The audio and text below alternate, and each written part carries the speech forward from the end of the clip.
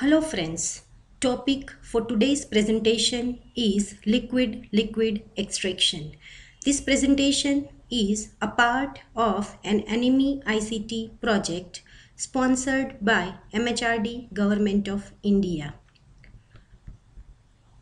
What is liquid-liquid extraction? The separation of a component from a liquid mixture by treatment with a solvent in which the desired component is preferentially soluble is known as liquid-liquid extraction. The specific requirement is that a high percentage extraction of product must be obtained but concentrated in a smaller volume of solvent. Prior to starting a large scale extraction, at small scale, the solubility characteristic of the product should be checked using a wide range of solvents. So, screening is necessary before starting large scale extraction program. A simple rule to remember is that like dissolves like. The important likeness as far as solubility relations are concerned is in the polarities of molecules polar liquids mix with each other and dissolves salt and other polar solids.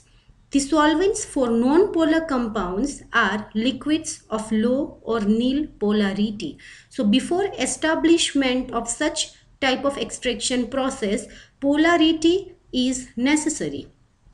The dielectric constant is a measure of the degree of molar polarization of a compound.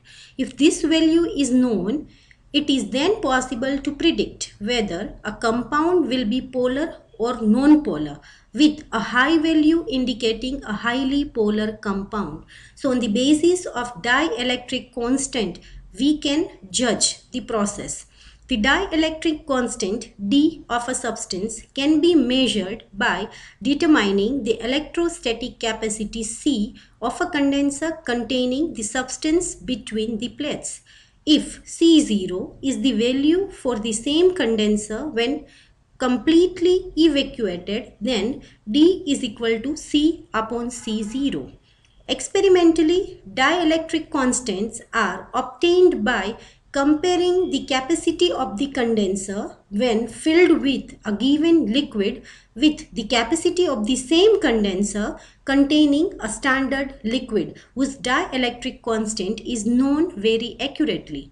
If D1 and D2 are the dielectric constants of the experimental and standard liquids and C1 and C2 are the electrostatic capacities of a condenser when filled with each of the liquids then D1 upon D2 is equal to C1 upon C2.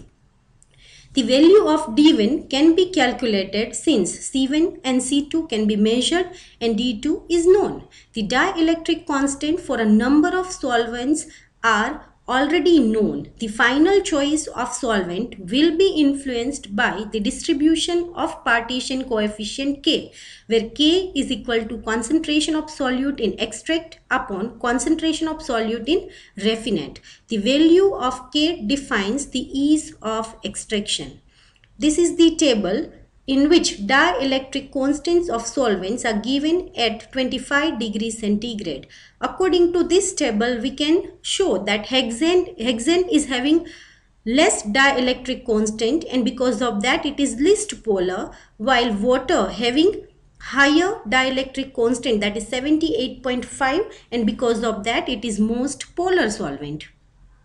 When there is a relatively high K value, good stability of product and good separation of the aqueous and solvent phases, then it may be possible to use a single stage extraction system.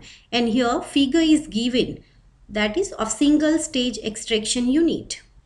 A value of 50 indicates that the extraction should be straightforward whereas a value of 0.1 shows that the extraction will be difficult and that a multi-stage process will be necessary.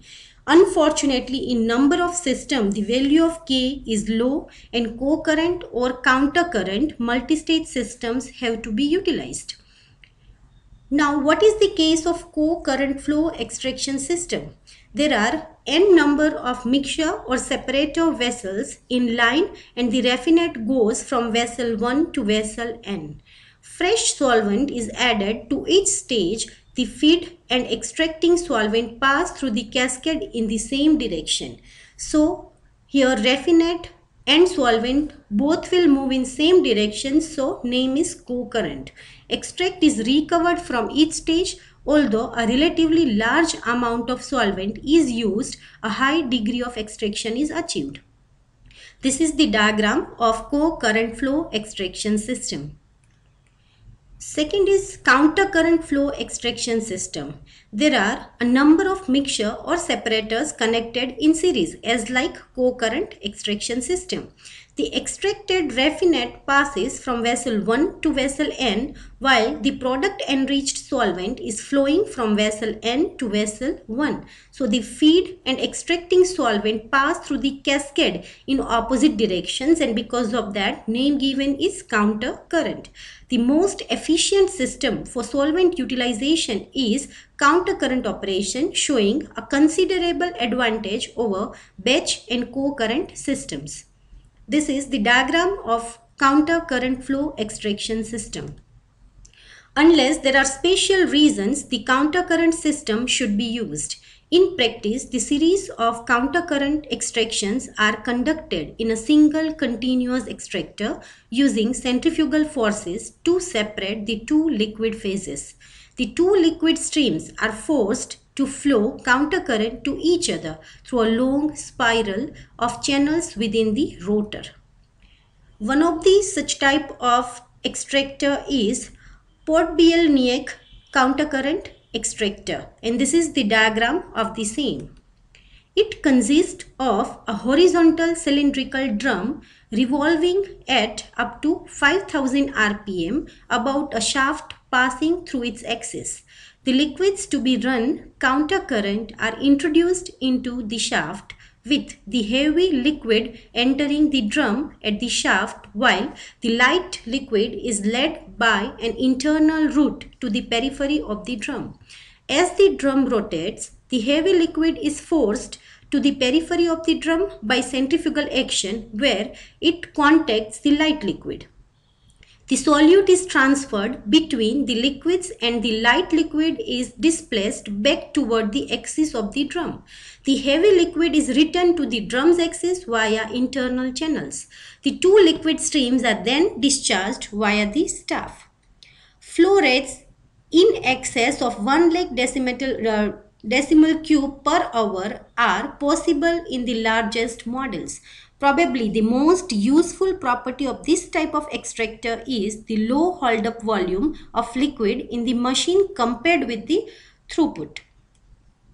Penicillin G is an antibiotic which is recovered from fermentation broths by centrifugal countercurrent solvent extraction. At neutral pH in water, penicillin is there in its anionic form and this is the structure of 6-aminopenicillanic acid that is basic structure of penicillin. In acid conditions, this ionization is suppressed and the penicillin is more soluble in organic solvents. At pH 2 to 3, the distribution ratio of total acid will be K is equal to penicillin in organic solvent, solvent divided by penicillin in aqueous form as well as anionic form of penicillin in aqueous form. For penicillin, this value may be as high as 40 in a suitable solvent.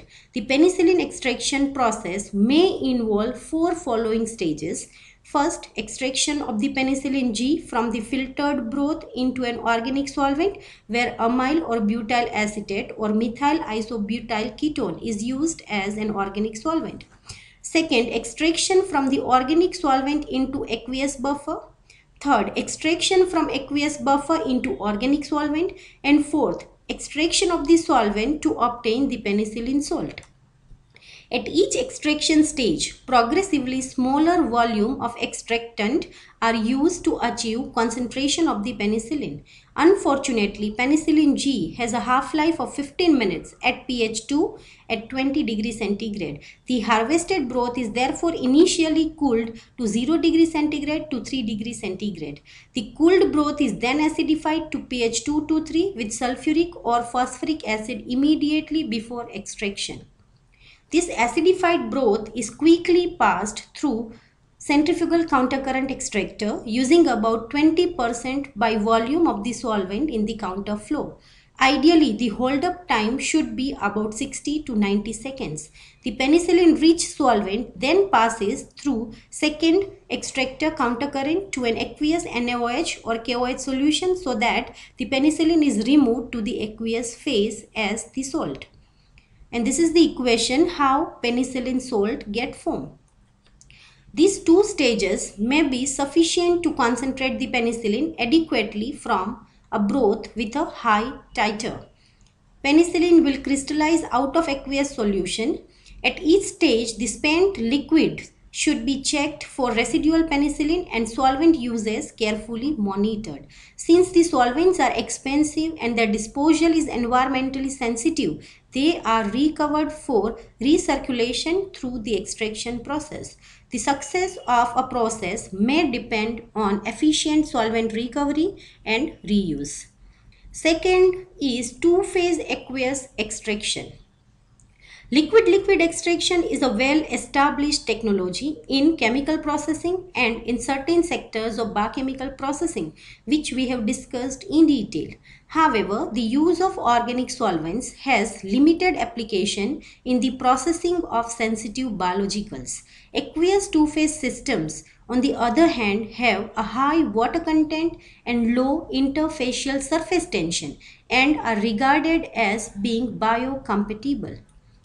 Two-phase aqueous systems have been known since the late 19th century and a large variety of natural and synthetic hydrophilic polymers are used today to create two aqueous phases. Phase separation occurs when hydrophilic polymers are added to an aqueous solution and when the concentrations exceed a certain value, two immiscible aqueous phases are formed.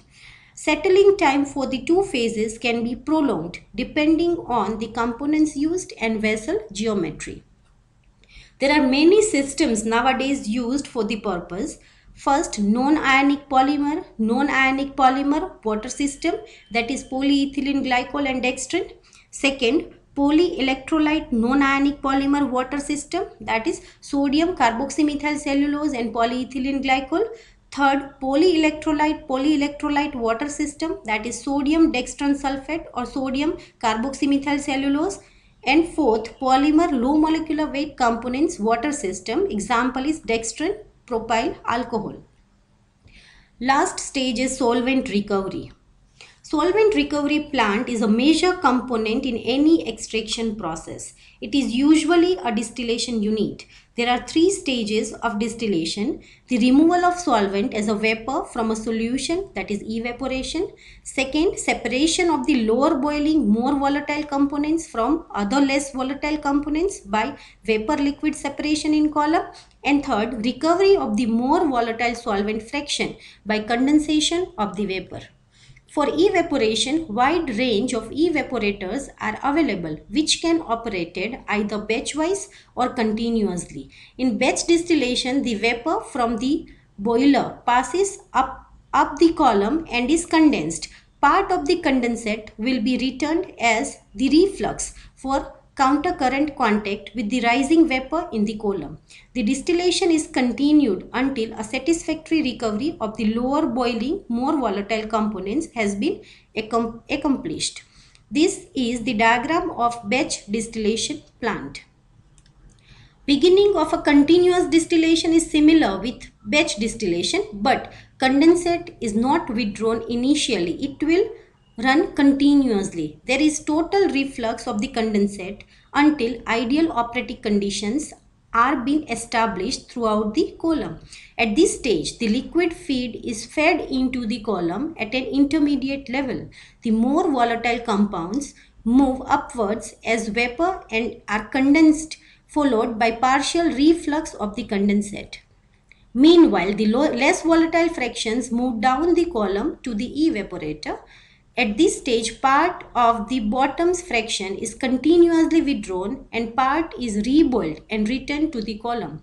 Countercurrent contacting of the vapor and liquid stream is achieved by causing vapor to be dispersed in the liquid phase and liquid to be dispersed in continuous vapor phase that is packed column. The plate or tray columns consist of a number of distinct chambers separated by perforated plates or trays. The rising vapor bubbles through the liquid which is flowing across each plate and is dispersed into liquid from perforations or bubble caps. The liquid flows across the plates and reaches the reboiler by a series of overflow wires and downpipes. A packed tower is filled with a randomly packed material such as rings, saddles, helices, spheres or beads. The heat input to a distillation column can be considerable. The simplest way of conserving heat are to preheat the initial feed by a heat exchanger using heat from hot vapors at the top of the column, heat from the bottom's fraction when it is being removed in a continuous process or otherwise combination of both processes. This is the diagram of continuous distillation plant. Thank you.